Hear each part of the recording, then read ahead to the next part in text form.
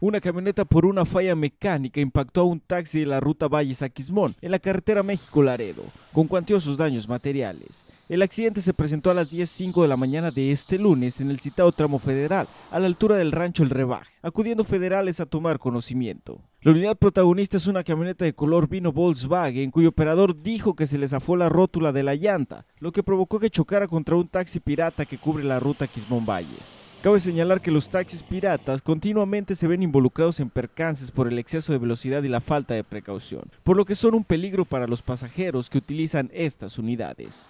Con imágenes de Raúl González e información de Francisco Montoya, el Mañana Multimedios.